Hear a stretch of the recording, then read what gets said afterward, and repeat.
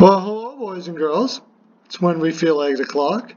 And I'm Pearloism, and you're listening to my NHL Pearls of Wisdom. Coming to you live from Helen's Place. Anyways, it's, uh, I've been getting letters. I've been getting lots of letters. You know who I am, right? Wisdom. Everybody knows who I am by now. I don't need to explain myself. Uh, I, uh, if you don't know, I've been studying the game for years and years and years. Um, have a very accurate um, prediction rate when talking about where players may go. It, as you can see on the screen here, we're talking about the draft.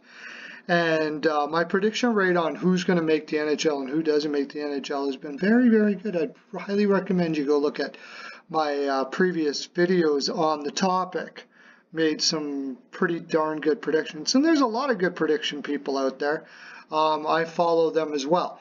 Also, I do regular NHL stuff on, like for instance, a good example was everybody said Taylor Hall was going to go to the Colorado Avalanche. I was, I and a few other people were thought clearly that he was going to go to Arizona. He went to Arizona. Just a good example. That's kind of what I do. So, thought I'd do some mock draft stuff. Here, we have, and like I said, I get your letters. Everybody wanted to know my mock draft.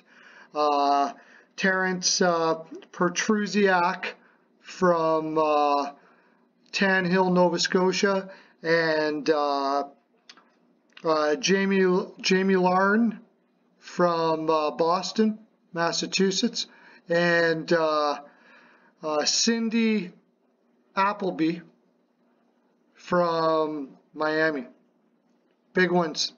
You guys wrote great letters.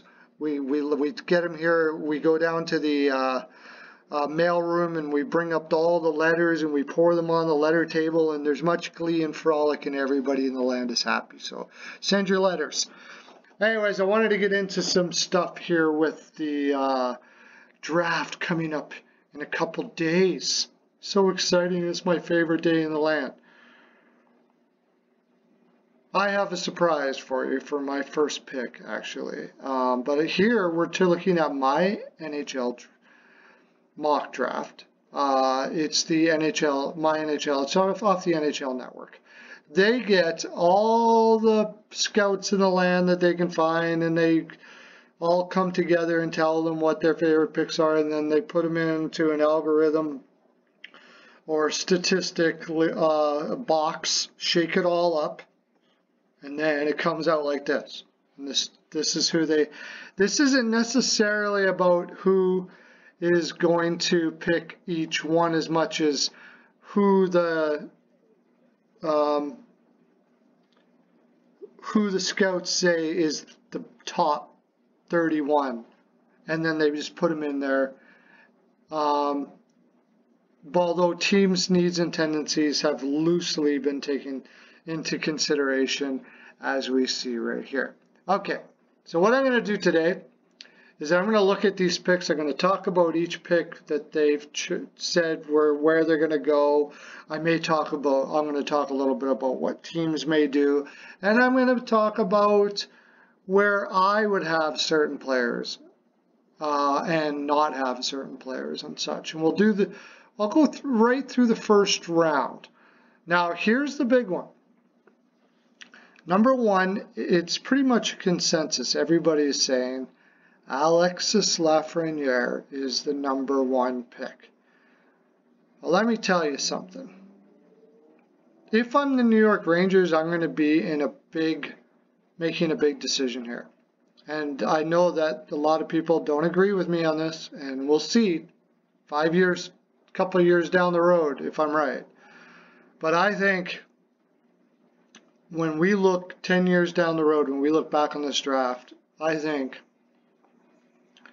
Yaroslav Askarov is going to be the best player to come out of this draft. And that's saying a lot.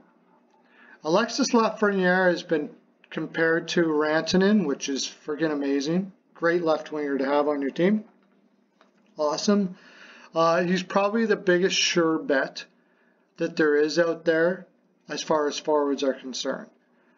Now, Yaroslav Askarov, I have heard been just I, I, watch, I read a lot on the draft. I read a lot about certain scouts for specific things. There was a scout that was on Sirius Radio. I have Sirius Radio, and uh, if you have, if you don't know, if you don't know what Sirius Radio is, you can order it. You can order it. It gives you all kinds of music, and it gives you all NHL all the time. There was a scout, and I wish I would have caught his name, but he was a um, he also trains goaltenders and works with young goaltenders. And he worked with Vasilevskiy, directly with Vasilevskiy. He was very passionate on the program as he talked about this as well. He says, and I heard this from more than just him, but this one was impressive because he actually worked with Vasilevskiy. He says at the same age as Skarov is better than Vasilevskiy was in his day. Considerably better, actually. So you think about that. How good is this kid? If he's considerably better, considerably better than Vasilevskiy, who already has a Vezina in, in as a young goaltender, we're talking about Dominik Hasek level goaltending here. Unbelievable. So the thing is that the Rangers already already have Shesterkin. The kid looks phenomenal. I think more than likely, anyways, they're going to be taking Alex Lafreniere here. Um, but I seriously think I've heard rumors that they might draft, go down, and pick lower. Uh, and if that's the case, it could be because they're looking at Askarov too, and they're hoping that these teams follow something that a lot of teams do follow, and a lot of people will say now a lot of people are disagreeing with me is you never take a goaltender number one. But if you've got a guy that you think is Dominik Hasek, you do. Okay? Simple as that. Hasek was the best goaltender ever play the game. There I said it. Next pick is the LA Kings. Now they have Tim Stützle here as the number two pick. And I'm going to say if we don't go again with Askarov, because LA's got one fantastic goaltender, young goaltender in Petersen here too. They love him a lot. So the, it's going to be between Stützle and Byfield. And I'm telling you, it's really hard to pick between the two. Quinton Byfield could be the next Kopitar. I've heard him compared to Kopitar. Big, mobile center, can play both ways, already very well. Not as creative as Tim, Tim Stützle. Tim Stützle's been compared to Patty Kane. Patrick Kane, okay? Now, I have my doubts that Stützle is going to get be that good. But he's far more creative than Quinton Byfield. The thing about Tim Stützle is he's got the type of game that can create like Patty Kane can. He's going to give you something that Quinton Byfield can't in that regard, but Quinton Byfield's going to get you that big center that every team really loves to have, especially in the playoffs. LA already has one of those though. Um, and uh, they don't really have a guy like Tim Stützle. However, I still think they're going to go with Quinton Byfield here. And I probably would too. I probably would too. They have Vilardi. I forgot to mention that. Vilardi is the, but he can, Vilardi can play wing. So if we put Vilardi on the wing, and they got Turcotte coming in, I mean, they're going to be stacked totally stacked up the middle here if they take Quinton Byfield. I understand Stützle. They say he's a center here. A lot of people are projecting him as a winger. So I'm going to say they take Byfield just because why not overdo it with size up the middle for a playoff run? We just saw what can happen with a team like Dallas that had size everywhere. Even though they're getting outplayed, they're still able to tire out their opponent. I get it. So now we go to Ottawa. Ottawa for sure here takes Stützle. what you, you're asking me right now, well, what about Askarov? What about Askarov? I probably already take him. I, if I'm the Rangers, I hum and haw about it, but I probably take a Askarov anyways. Either that or I trade down with Ottawa, get a whole bunch of, uh, see how many picks I can get, and take Askarov in number three. Take all those picks and get all the other players, and then you can play, you can do whatever you got to do with Shesterkin and Askarov as far as trades and all that is concerned. You're going to get huge value out of Shesterkin anyways, and uh, yeah, that's probably what I do. Tough, tough call though, because that's a lot to do when you can just take Lafreniere. Now Detroit here definitely should take Askarov. Absolutely no doubt about it. The reason why they have Cole Perfetti there is Detroit has almost made it known to everybody that they're going to take Perfetti. But lately, I've been hearing about them taking Rossi. They've been spending a lot of time with Rossi. Cole Perfetti has said some really weird things in the media, uh, saying something like, you know, I wouldn't want to go to a dump and chase team and stuff like that, being kind of immature. And it might have been turning Stevie Yzerman's ears, uh, eyes a different direction, and they take Rossi here. Um, I personally would probably take Rossi here. He's a safer pick. Uh, if you're not going to take Askarov. I would for sure take Askarov here if I'm Detroit, though.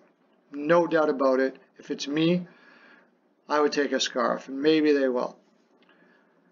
Number five, we have Lucas Raymond. Now, I think, I believe that if Askarov is here, Ottawa is going to take this guy. Now, I and I, I understand that uh, that they both they really like Lucas Raymond, and a lot of players really, a lot of teams really like Lucas Raymond. Lucas Raymond is a lot like um, Mitch Marner, so um, a lot of people believe he's a lot like Mitch Marner. Huge on them. There's been, uh, for some reason, I wouldn't be doubt if Detroit take him, but I have a feeling if Askarov is here, they're going to take him.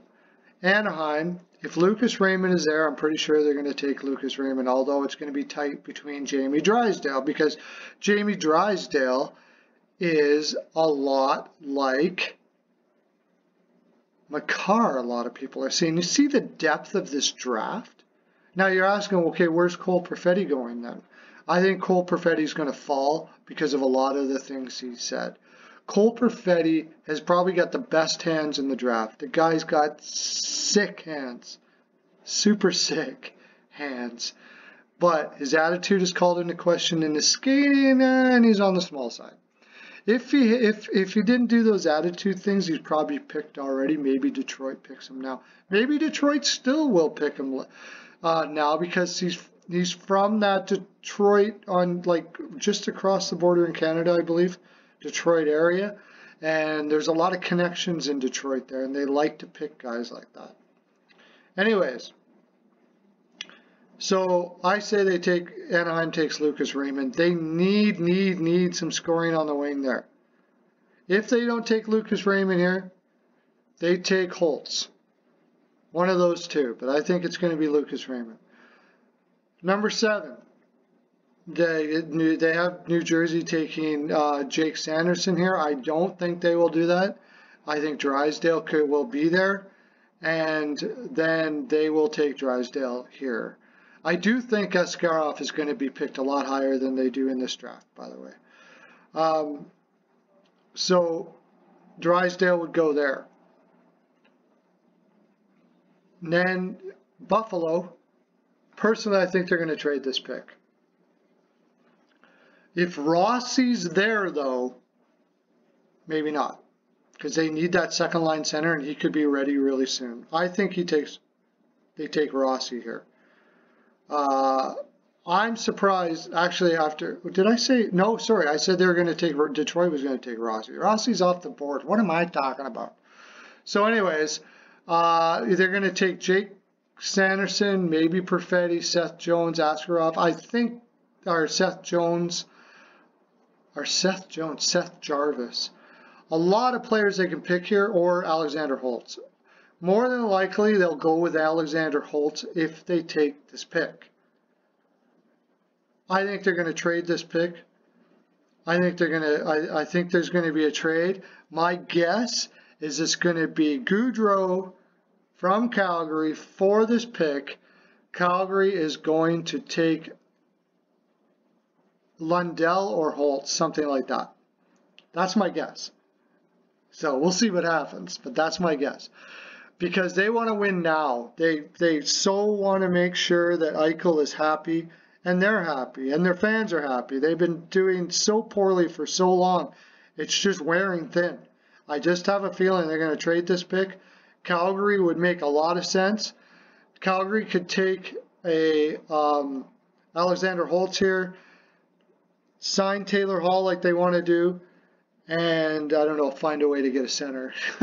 that's going to be the biggest problem with that. But uh, that's, let's pretend Buffalo does pick here. I think they take Alexander Holtz to eventually play with Eichel on that right side. Alexander Holtz is a huge, has a huge shot, has a 30 to 35 goal upside, can play all areas of the ice.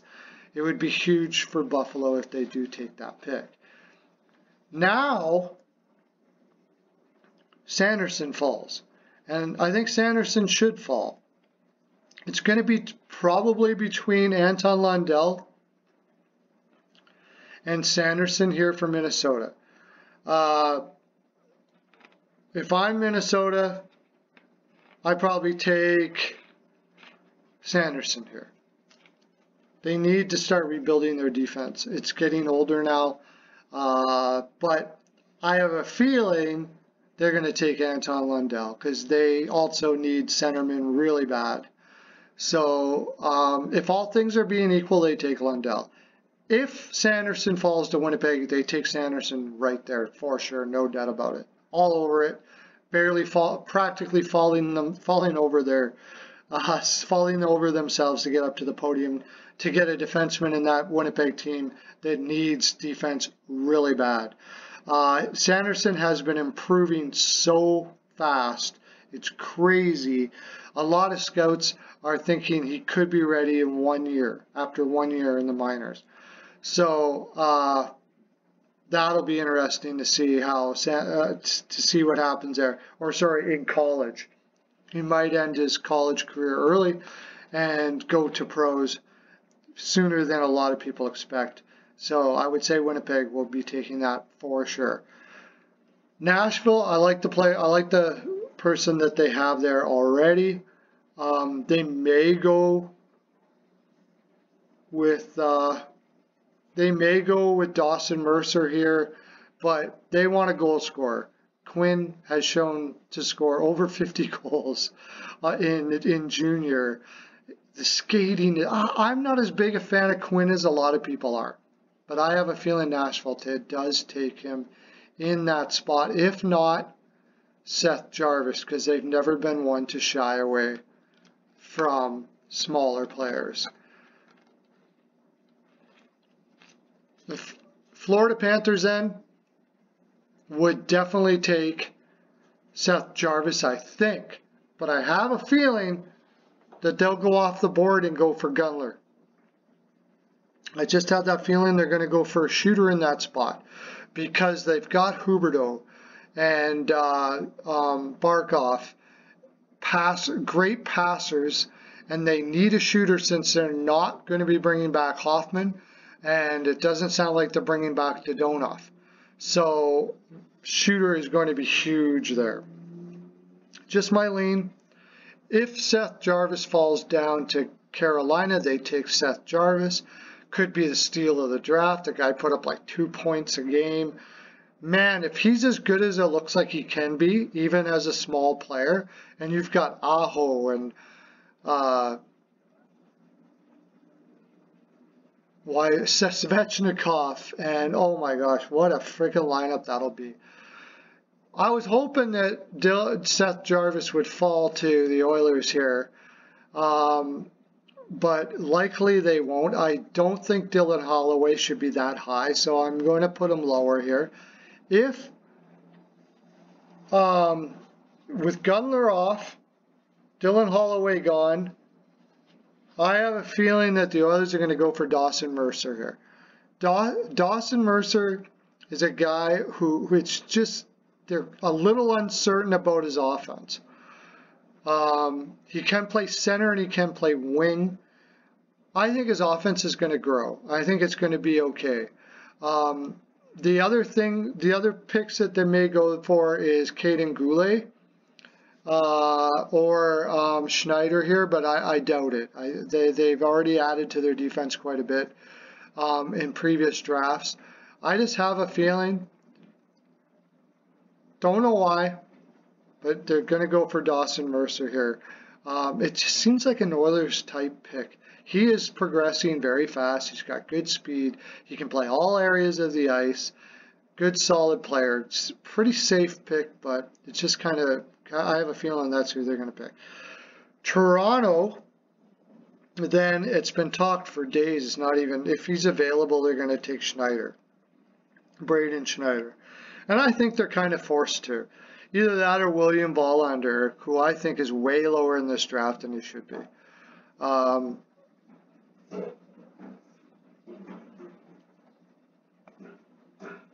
did I miss somebody? No. Okay.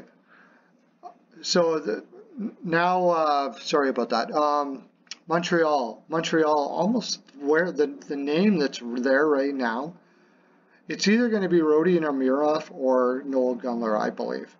They could go off the board here and pick up Brendan Brisson.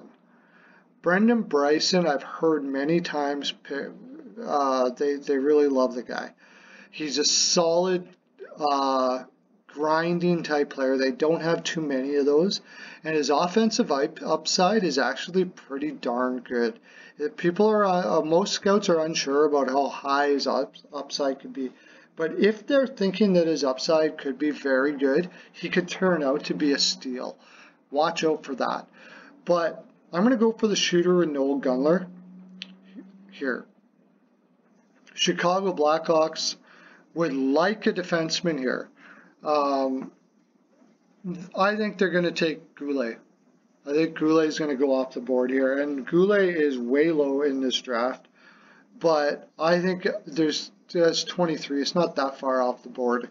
Um, Chicago's known to wanting to take these big defensemen that are a bit of projects. They need it really bad. They've got a couple young defensemen coming up right now, but they could definitely use a lot more. Their forwards are starting to pile up pretty good. They could use some defensemen. Now, this being said, if they think there's somebody on the board that's better than them, they will do that. They're not just going to take forward position. If they think Maverick Bourque or, uh, you know, another good one here, if, if anybody, I'll, I'll get down to that when we get down to that in a second here, when we get there in a second here. Um, another one they could go with is Jacob Perreault here. I just have a feeling that they'll go with that skilled Savardian type guy. He kind of has that feel to him. But I'm going to say Kaiden Guhle is the guy that they're going to take there. New Jersey Devils probably wishing that Guhle was still on the board. Um, but they did get Jamie Drysdale already in this draft, doing it the way I said that they would do it. So uh, I'm going to go with um, Lukas Reichel. Lukas Reichel is a two-way guy. It's a New Jersey type pick all the way. Totally New Jersey type pick. Pretty safe, but has offensive flair, can play all areas of the ice. Seems to be, to me, the most likely pick for New Jersey there. Calgary, I think for sure, take Jacob Perreault here.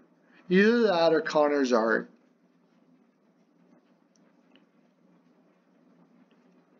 Jacob Perreault or Connor Zary. I'm going to say Connor Zary. They, I think they take Connor Zary. Connor Zary is probably going to be a third line guy uh, who can play both ways, who can give them offense. They do need centers. It would seem likely to me that that's who they will take. Um, New Jersey's next pick, I think they'll go off the board a little bit and take William Wallinder, which I don't even think is off the board, because I have a feeling he could turn out to be one of the steals of the draft. Um, Columbus would then take Brendan Brisson almost for sure. It's got Columbus all over it. Or, and this is when we get down to Hendrix Lapierre. If anybody has an inkling that this guy's head's alright from the concussions, that he's going to be perfectly fine, he could go anywhere up here. Seriously, like I could see Minnesota taking a chance on him. I could see Nashville taking a chance on him. He is going, he was supposed to be almost like a Bergeron clone. This guy has got so much talent. He had a couple concussions and two concussions, I guess. And that's just been a huge problem. Uh, and, and it should be a problem because is he going to be able to, is he going to get hit in the head again? All of those things like that. I have a feeling with the concussion protocols that go on now, and you've seen it with Crosby where he's had concussions and he's come back and he's did well. I have a feeling somebody's going to take him higher here. I probably would. To tell you the honest truth, I wouldn't think he would get past the Oilers. I think that I think the Oilers will take a chance on him. I think Carolina could take a chance on him. Um, there's so many teams like if he's ready, if, if anybody thinks he's not going to have concussion problems in the future, he's going to go way higher than that. The New York Rangers, I'm sure will take a chance on him here if they don't trade this pick. Uh, the Phil, this leads us to the Philadelphia Flyers, and um, they're not going to be too happy with what's been available here. Uh, I know they're not because they're looking for a shooter. And if you notice, I've said that all of the shooters are pretty much gone here. Um, I think they're going to take Brendan Brisson if this is available. Uh, as you can see, Jacob Perreault is, is falling down here a little bit uh, because he's smaller. There's a lot of question marks about his defense. And uh, that's about the only reason why. Brendan Brisson is a Philadelphia Flyers type pick. Colorado, if they don't trade this pick, I'm sure are going to go with William Wallinder almost positive if he's going to be there. I could see Wallinder going way up all over the place here in, in many parts of this draft. St. Louis Blues, for sure, though, will take their chance on Jacob Perreault. They're going to need to replace some of their offense because some of their guys are getting older now. Uh, best, that's the best guy on the board probably right now. Through all of this, there's going to be guys that are going to be taken high uh, that are not in this uh, but I wanted to talk about all the ones that the NHL draft people had on here. I'll, in the second round, I'll show you some guys that I think might go higher. John Jason Peterka could go higher too. A lot of people love this guy, and to tell you the honest truth, I'm not sure why. It's just that he plays a good two-way game. I don't think he could go higher, but New Jersey could take him in the 18th spot. He's that type. He's their type of player uh, in the 20th spot, I mean. But I already took a guy that was their type of player, a little higher in the draft, and uh, in Lukas Reichel. Maybe they do something like that. Maybe Calgary takes him. It, it, it's it's weird. I've seen them all over the place, but there are a lot of teams that really like Peterka. I do know that. Ottawa gets, um, I believe they would go off the board here. I'll talk about that in a second. Vegas, probably goes with a defenseman off the board here as well. Dallas Stars, the the the uh, I think they'll go with the player that's right there, either that or Peterka. Peterka, somebody like that. It's tough when you get down in these parts because there's a lot of teams that can really like these guys. There's not much difference in each player. They just have different skill sets, but they all have holes. Um, and San Jose, again, I'm going to talk about some of the guys in the second round here that I think could go in the first. Uh, and I'm not going to go through everybody here, but I'm just going to go through a couple. Marat Khusnutdinov could go even a lot higher. This guy has got skill. He's small, but he plays super big. And he's very fast. His hands are sick. I think he's a first rounder for sure. I would be blown away if he falls to the second round. Something I didn't talk about about a lot of these guys is that uh, they uh, have a tendency to fall if they're Russian because of the fact that they can head off to the KHL at any time. They use that in contract disputes and stuff like that. So um, because of that, these guys can fall, but I don't think this kid's going to fall like this. I really think they're going to go up. I could see Vegas taking him. I could see a lot of teams going off the board for him. Ozzy Wiesblatt, also such a he, he's great two-way player, great attitude, uh, gr works the boards really well for his size. Offensive upside is pretty darn good. I think he could go in the first as well. Jean-Luc Foudy, also same type of thing. Most of these other guys, I would say, are somewhere in the second round. Ryan O'Rourke could go very high. It all depends on what you think the, his offensive upside could be. But he's big, 6'2". People love big defensemen. He can skate. I could see him going, let's go back to the first round here. I could see him going to a couple, a couple like Ottawa Senators could take him. Uh, San Jose Sharks need to rebuild their defense. Uh, I can even see Calgary going off the board and taking him to tell you the honest truth. Anyways, I've got 31 minutes here, my lord. We have to finish her off. This has been good times. Tell me what you think about who I picked there. I might have missed some people. I did it off the off the cuff. Kind of have some time uh, between doing my podcast and everything. I wanted to throw it out there. Hope you all enjoyed it. Tell me who you think your team's going to take, what trades might happen. I'll be down there to discuss it with you. Till next time, hit the subscribe and the bell, why don't you? And have a great day. Lots of love to you.